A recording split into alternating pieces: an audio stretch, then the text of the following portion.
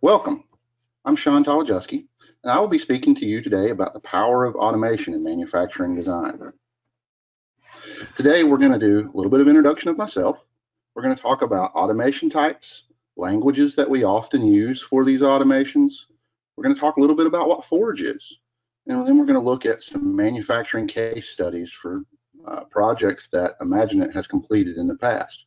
And then finally, we're going to bring it all together with a really cool real world example of what automation is starting to look like in today's market. So again, my name is Sean Tolodziecki. My role with IMAGINiT is Business Development Manager within our Software Development Solutions Group. I joined IMAGINiT in April of 2006.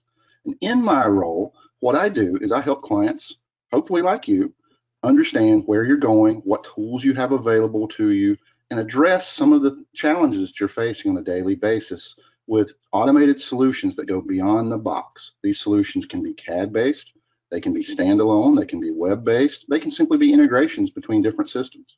And then once we have a project in play and we're working toward a solution, I often stay engaged and act as a liaison between the customer and our technical delivery team.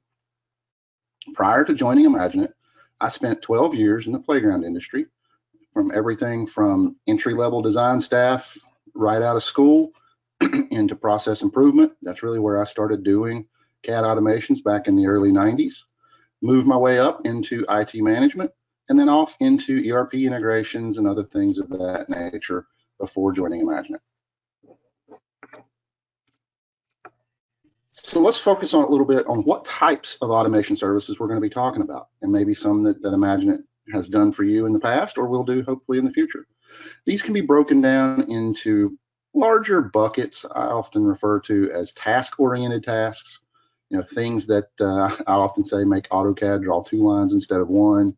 That really can be extended into really all of the modern platforms. But you're taking a current design task that you do on a routine basis that maybe takes a little bit extra time, a lot of constraints and things of that nature. And Inventor is a perfect example of tasks, and that's some of the ones that we're going to talk about. We also do workflow automations reacting to events. For example, having Vault upon release of a document or, or lifecycle change in a document, perform other actions, grab bills of material, push that out into ERP systems, uh, pull together all the documentation and generate PDF packages that can be distributed to outside vendors or uh, installation contractors, whoever it may be. We do a lot of different triggers in different applications to perform these types of things. I refer to those as workflow automations. And then the big one that a lot of people have talked about for many, many years, we all heard a lot about it in the early 2000s, and really it's it's a mainstay today, is configuration solutions.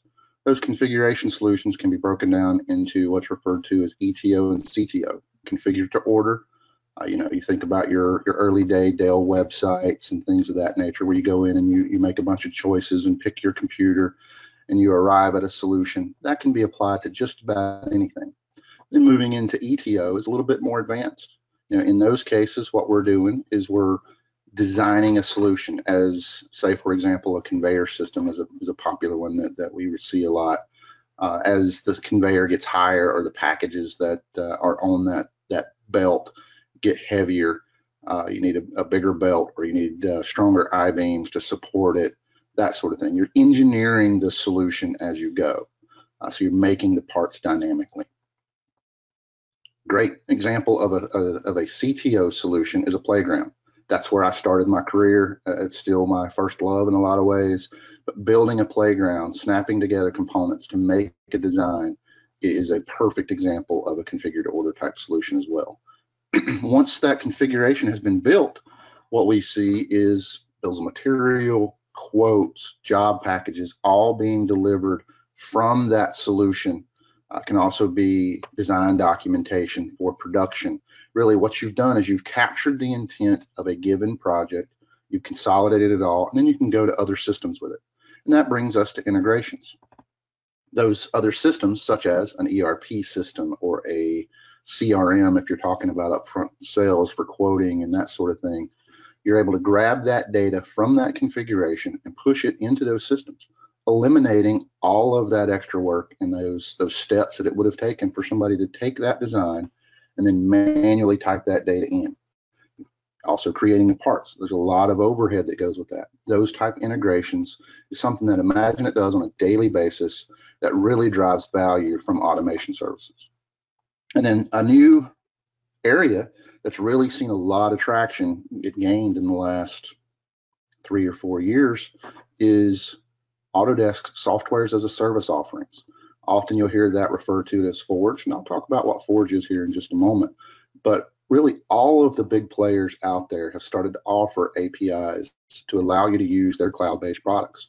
And IMAGINiT is, is on the front lines of working with those tools, partnering with other software vendors to be able to provide value through grabbing that data out of our configuration solutions or our uh, workflow automations, tasks, whatever it may have been that we did on the CAD side, and drive that into their cloud solutions to be able to use that data downstream. So the toolbox, what do we do to, to build these things? How do we make them? What, what software languages do we work with? So first and foremost, you know, the one that everybody around my generation, uh, anyway, started with is Lisp if you were in AutoCAD, you were using Lisp 25 years ago. It's really a, a, strict, a scripting language that allows for the stringing together of multiple commands to be able to get to a solution that did exactly what I described earlier, converted two clicks into one. I can now click uh, that Lisp routine. It can run through, grab the conditions in my drawing, and string those standard commands together to make a solution. Now Lisp is on, it's on its way out. It's been around for a really long time. It's served a lot of uh, great functions over the years, but it is very cryptic. Uh, it is very proprietary to AutoCAD, and, and, really that's where you're you're stuck when you're working with Lisp is, is inside of AutoCAD. Debugging and all that kind of crazy stuff that that you get into with Lisp is just so much harder with that older technology. So what we started to see in probably 2000, 2001, something like that, uh, was the introduction of Visual Basic for applications. I can remember when 14 AutoCAD 1401 came out and it offered Visual Basic for applications. I started going through and rebuilding all of my Lisp routines in VBA. Uh, why I did that is it had so much better um, form control and you could build more dynamic applications than you could through Lisp. And frankly, the debugging and, and tra tracking down your errors was so much easier because you had a development environment right there inside of AutoCAD. You could also speak to uh, Excel and Word, other off Word Office documents, that sort of thing that Microsoft was offering had VBA accesses. And you could you could pull in some other controls and things like that. That really made VBA a powerful solution back in that, that early 2000 timeframe. Again, because of other advancements, it's looking to go away. Uh, there, there's talk, been talk for many years of, of uh, Visual Basic not being offered in AutoCAD anymore, not being offered in uh, main Microsoft products anymore. It was a transitional period there for several years where you had to go through a lot of additional hoops to stand up and maintain your Visual Basic applications as you carried them forward. Uh, really the, the primary development environment in today's world for uh, Autodesk based products is .NET. That's been true for probably 15 years now, but it's becoming more and more, you just can't go anywhere else, at least not back toward Lisp or Visual Basic anyway. Uh, there's certainly more things uh, coming out, more things maturing as the, as we progress through the evolution of the product cycle. But .NET is really the foundation. Autodesk does a great job of offering a full array of development tools, access to all, really all of the commands. There, there's a few small nooks and crannies of functionality that you can't get to, but for all all purposes, you can do just about anything with .NET. And more importantly, you can do just about anything outside of your CAD platform when you're leveraging .NET. You can connect to the web, you can connect to enterprise resources, you can connect to and control other applications. And you can do all of that in a robust development environment where you can fully debug your solutions as you go. You can work through the, the nuances of standing up an application. Now, recently, um, and I say recently, probably five or six, eight years, something of that nature, you've seen iLogic on the manufacturing side. And this this presentation is mostly focused in the in the uh, manufacturing space. So I'm going to speak primarily to iLogic. There's some other things out there, Dynamo and such, that are very similar. But iLogic is kind of the VBA slash Lisp of the Inventor world in today's uh, environment. And what I mean by that, it is resident inside the application. You know, you're working directly inside of Inventor. You've got access to a lot of native Inventor features and functionalities. You can drive off of reactions to things much more smoothly as I update a parameter. I can call an iLogic function. It's really a maturing tool set that allows the desktop engineer uh, to be able to automate their tasks, much like we did with Lisp many, many years ago in AutoCAD. Some of the downsides of that is, is you know, we can start to do too much from the desktop perspective. We see that we're not doing holistic solutions in many cases when we're dealing with iLogic. We're, we're thinking about it from the perspective of, okay, if I were doing this manually, this is what I would do. This is how I would implement my logic to do this. This this parameter references that parameter. This suppresses that.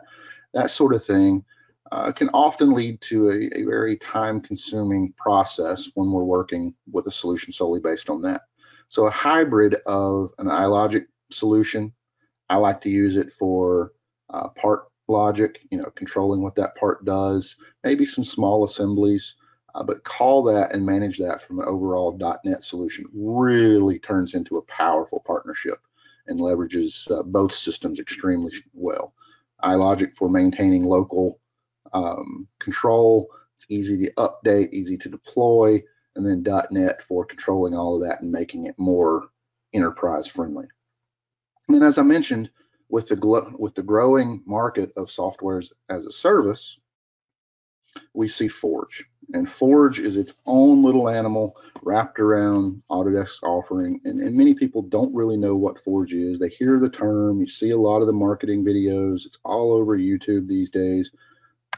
But what is what is Forge really? Forge is a suite of back-end cloud services that allows Autodesk to stand up their software as a service offering. It's really the foundation that they build all of their tools in the cloud on. And they've done an amazing job of extending that to us as a developer community. And when I say us, I'm talking about me in there doing it every day and you as the consumer you're able to, take things so much further with Forge than you would have without it. So Autodesk really kudos on, on doing a great job there.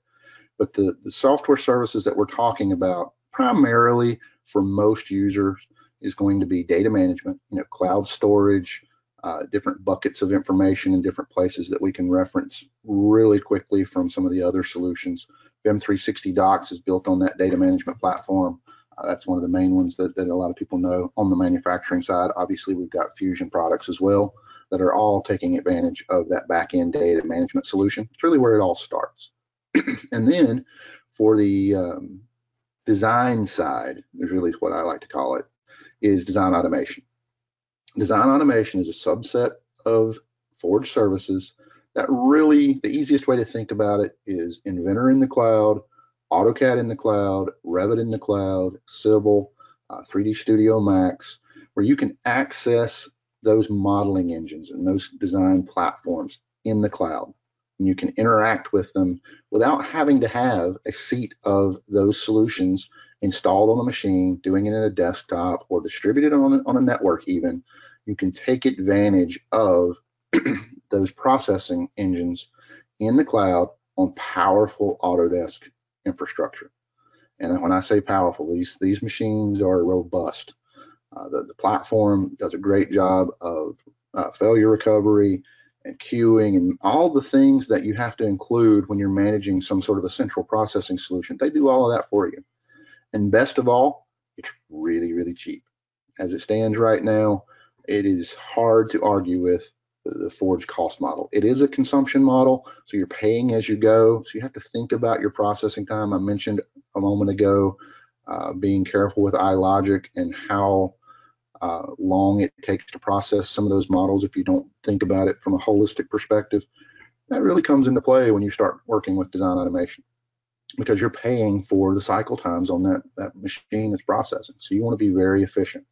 Now, don't be afraid of it because it's it's very, very cheap.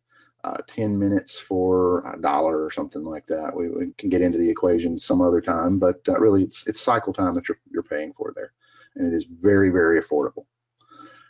What it also is beyond those cloud services, you know, those those kind of tangible offerings from Autodesk, it's also a robust suite of APIs. I mentioned that Autodesk built all of their online offerings around Forge. Really, it's it's stood up and exposed with the programming interface, an API, uh, through Forge. If you've got a subscription-based product, say for example, BIM 360, Autodesk Construction Cloud, uh, any of the Fusion products, Fusion Manage, any of that, you can access that data and work with it through the Forge API. Hypothetical, if I needed to uh, offer a, a, directory list and, and, make it look like it's local on my workstation, but it's really housed in BIM 360 docs, I can have an application running that queries docs through the docs API in Forge gets a list of all the files and structures that's out there and presents it right next to all the other drives that you have available in Windows Explorer. You can make it look like and really mimic the behavior of a, a typical drive resource that we're all so familiar with. That's just one example of working with that data. I can also query it. I can grab all the information out of it, uh, put it into Power BI reports or Tableau or any of those other processing and, and reporting uh, solutions that are out there and leverage that data. Start to drive that into a digital dashboard. In fact, it's one of the first things that we did with the Forge API. The client wanted to have an executive dashboard that shows information to their executive leadership of what's going on in their BIM 360 environment. We would reach out to all the different BIM 360 modules at the time, pull that data in, and pull it back to a centralized dashboard that was easy to consume quickly. You know, I could quickly look and see what's going on, see the health of of projects as they're moving through uh, my enterprise, and see that data, and then drive into it. If I wanted to look at a, a detailed record, I could double click it, and it would take me directly into my BIM 360 account, pull up that issue or whatever it may have been that I was working from, and I can see that data right there. Then another powerful piece of Forge, it's really probably the marquee thing that everybody sees and that everybody um, is so wild and crazy about right now is the Forge viewer. Being able to take a model and view it inside of a browser. That is, uh, I cannot say just how powerful that is in today's marketplace. Uh, we, that's one of the struggles. As a guy that's been on the front lines for many, many years, that has been a huge struggle. How to get CAD and CAD data into a browser. You know, we converted to PDFs and converted to all sorts of different formats, uh, WebGL, all that kind of stuff we've used in the past to try to visualize these models. Autodesk did us a huge favor when they came up with Forge Viewer. Many have referred to it or heard it uh, called early days as the large format viewer. What it does is it works with the Forge model processing engine known as model derivative APIs to be able to take an Inventor model Revit model, really 70 plus and growing formats, and convert that to a file that can be viewed in a browser. And that browsing, as you'll see here in, in a few moments, is really nice. The graphics, the quality there, the tools that you can do work with, turn layers on and off, turn objects on and off, click things, interrogate those objects. It's it's very much like a true CAD experience, but it's in a browser. Now, when I say a CAD experience, I'm talking about looking at, spinning around, working with the inquiry of particular components. You're not going to necessarily edit, although you can. It's built on uh, Three.js. It's a full modeling engine.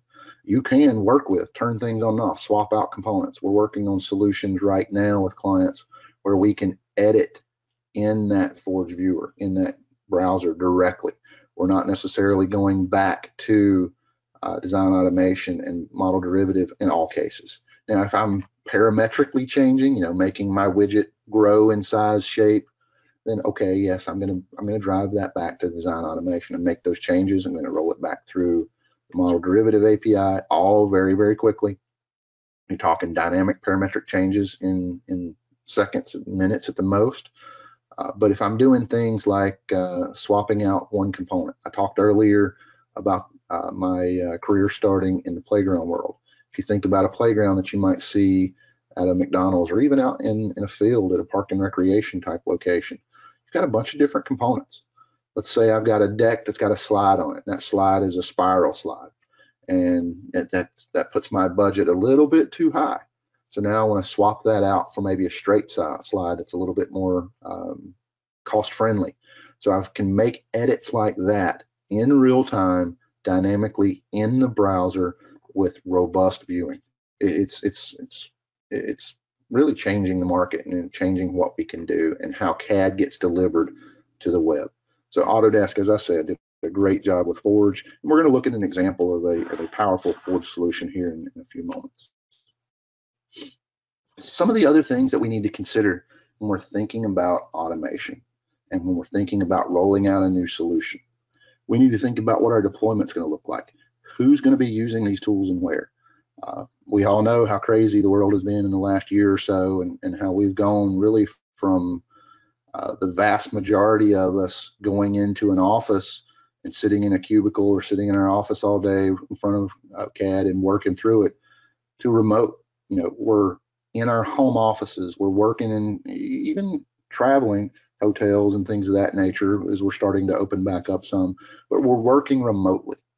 And there's a lot of challenges that come with that. You know the things that we kind of take for granted of having infrastructure of having your content and your security and all that kind of stuff is a consideration when you start working with remote assets.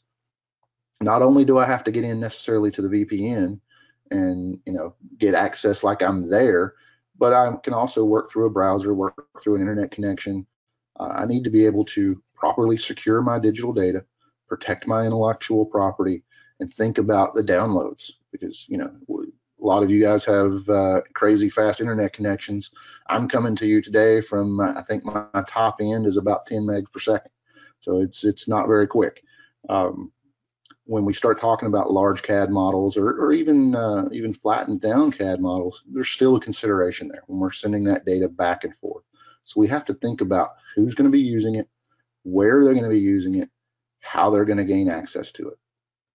Then we also need to think about updates. So we've made our initial deployment, we've got it out there, we've got our people working with it on a daily basis, and, and it's doing a great job. It's, it's seeing all the benefits that we're going to talk about here in a moment. Now we've rolled out a new product. What does that update look like? How do we pass new content? Is it just configuration changes that may control rules of how components go together, or is it a completely new product line? we've got to think about how to get that content out there and what that update cycle looks like. As we move to more web-based solutions, a lot of that becomes less and less of a problem because now we're deploying to our website. We're not deploying to dozens, hundreds, maybe even thousands of laptops and desktops located all around the world that's going to come in and download gigs of data to get our proper models and things like that. I'm, I've, again, come back to playgrounds quite often we're working with a client right now that uh, has to deploy on a quarterly basis very, very large CAD updates for AutoCAD blocks and 3D Studio Max models and things of that nature. As you move to the web, you can get rid of that stuff. But until you get there, you've got to think about it. You've got to plan for how am I going to get that data out to my user base. Now, we, we talked about some of the tools that we've used the languages that we're working with, and some of the other considerations that, that really have to be thought about and planned to properly roll out an enterprise-wide uh, automation. What are some of the benefits? Really, when you start talking about benefits, obviously, first thing that comes to mind is ROI, and the very first thing that comes to mind with ROI is it takes me 25 minutes to do this manually. I can now do it in three seconds when I click the button. So I've taken my script, I've taken my um, new command that I've, I've, automated, and it takes away that time. Uh, it, it makes me more efficient as the designer. Okay, that's the easy part of return on investment calculation. You can monitor it, you can measure it, You can project what it's going to be in the new world, and then you can quantify that as well. By, by after you rolled it out, you measure how long it truly takes you, and now you know, okay, I've got this kind of savings. But that's not all. It's not just taking that time out. You're also reusing data. So you're able to be more consistent in the information that you're delivering.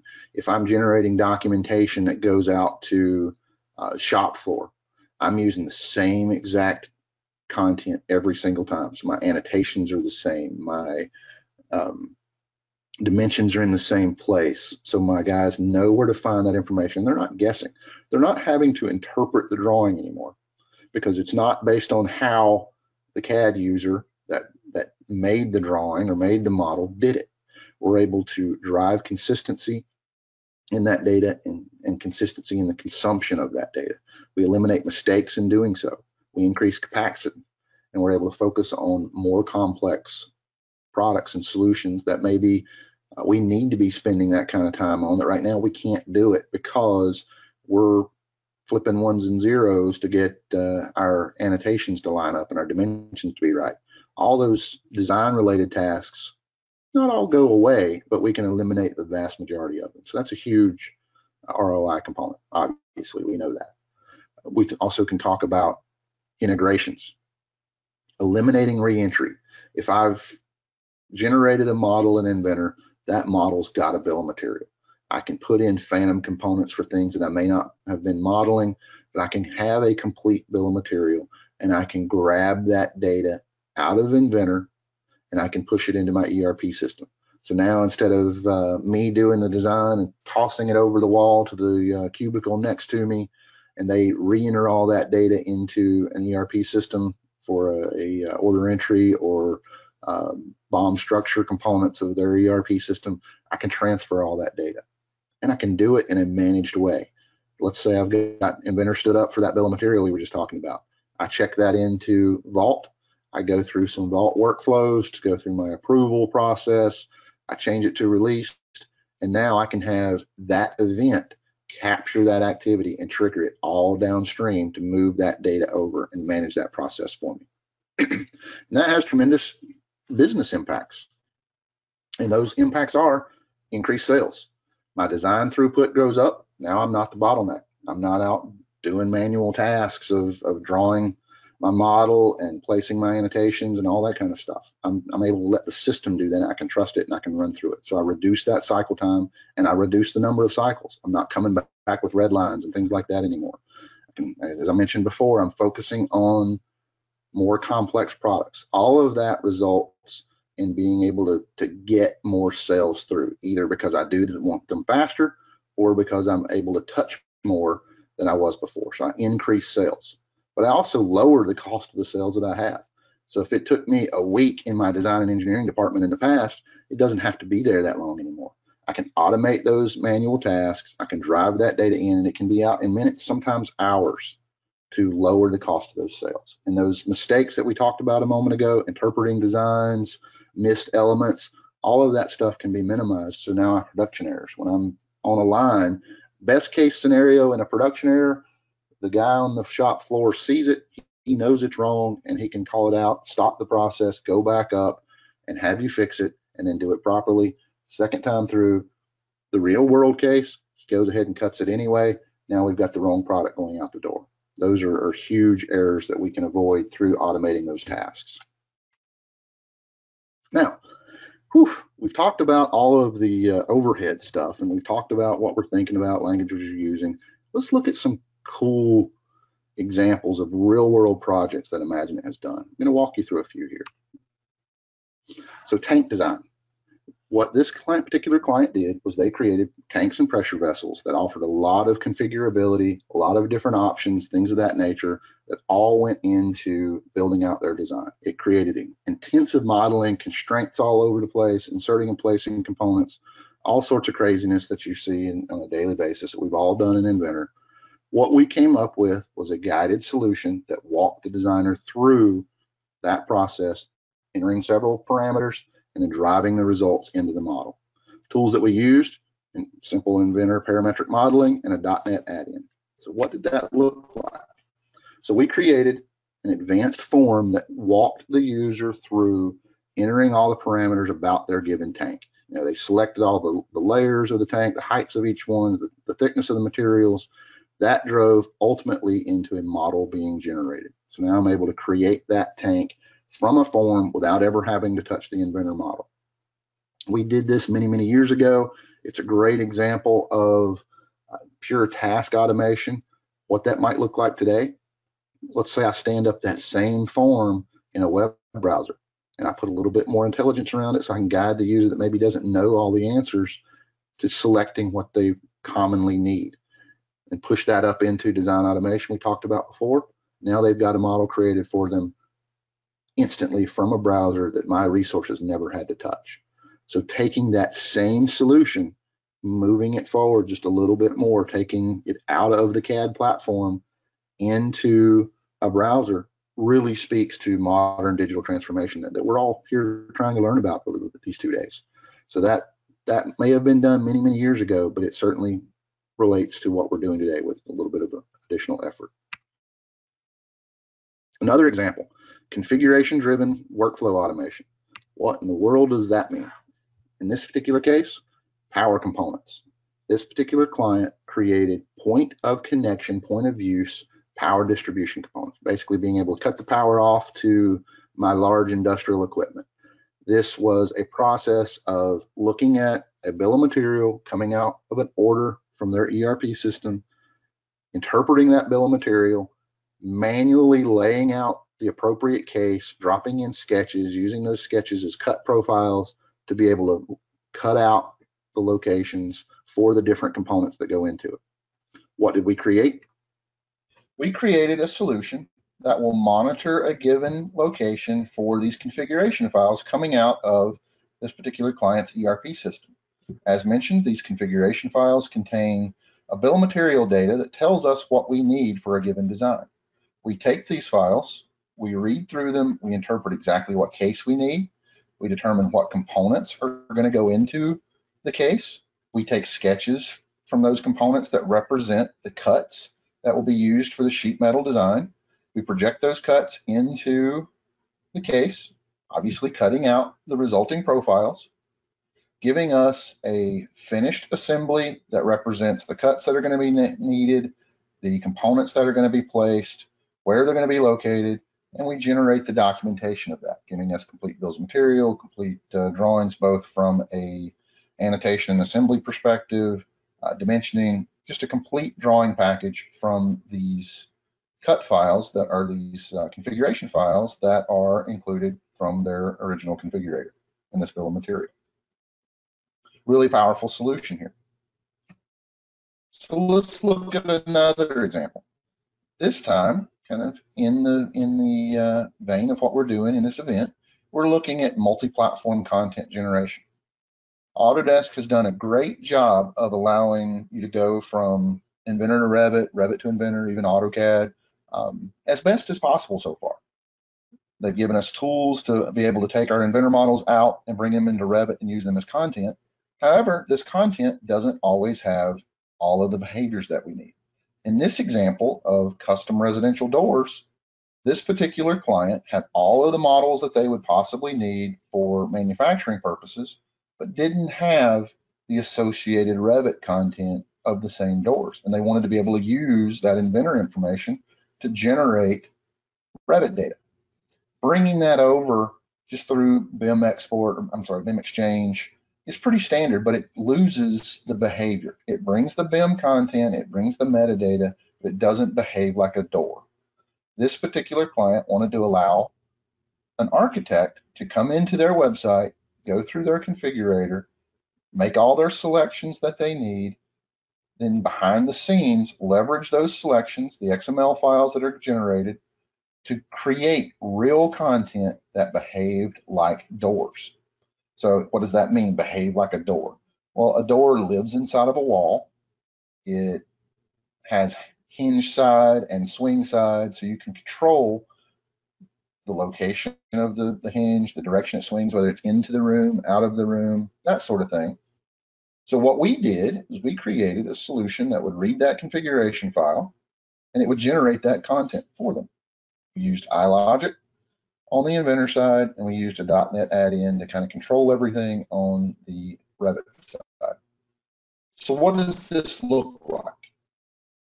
Architect using uh, Revit, using standard content, you know, they're going to drop it in. They're going to be able to use standard content there. They'll be able to get their schedule. And as you can see from this schedule example, it's pretty basic information. It certainly communicates that it's an interior door, it's wood, that sort of thing, but it's not appropriate for the real product that's going to be used. So what we wanted to do is allow the architect to come to the existing configurator that this client had, enter all their information, make their selections, you know, their styles, their material, their finishes, all that kind of cool stuff, then leverage those selections to generate true behavior specific doors that can be consumed in a Revit model. How did we do that? We've got a black box sitting behind the scenes that is looking for these configurations to be generated. When one drops in, we recognize it, we pick it up, we run it through Inventor to process it to get our slab the way it needs to be, the right size, the right style, uh, the right material assigned. And then we run it through BIM Exchange to push it out to uh, Revit.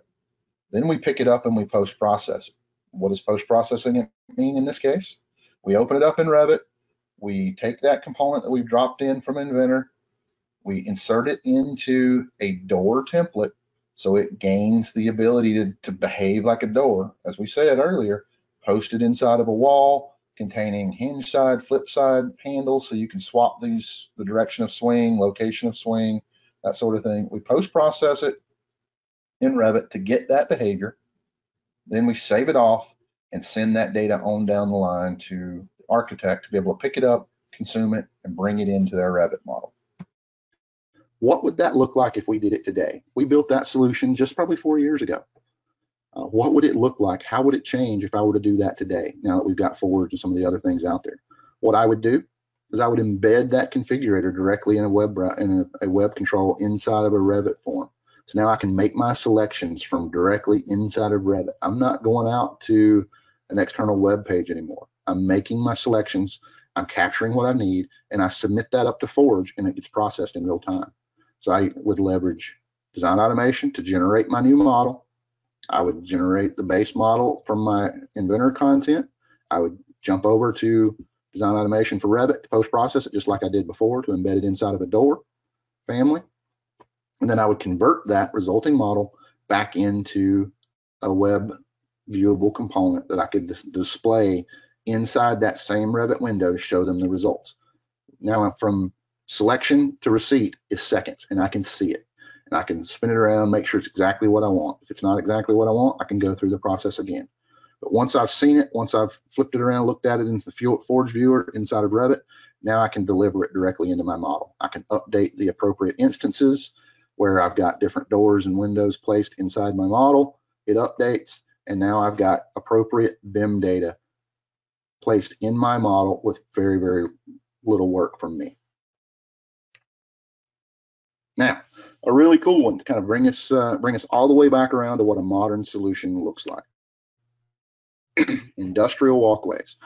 This particular customer needed to allow their customer base to configure their own walkway with appropriate behaviors and appropriate safety measures around that. So we can't let them build a walkway that can't be made. We can't let them have open sides where they could fall off. Can't have any of that kind of stuff. Um, to the user that's going to be doing this. We want to walk them through it. So we gave them a 2D quick layout solution to allow them to lay out the path, control what they, they are selecting, control where those components are, control what they're seeing for stairs and ladders and things of that nature. We also allow them to visualize that in 3D right there in their browser to make sure that we know what it is, we got exactly what we want, and then we generate an engineering documentation directly from that without remodeling. How did we do that?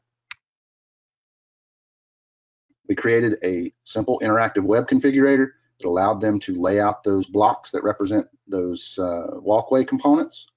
We submitted that layout to Design Automation, generated an intelligent inventor model, converted that to a web viewable, and brought it right back to them immediately.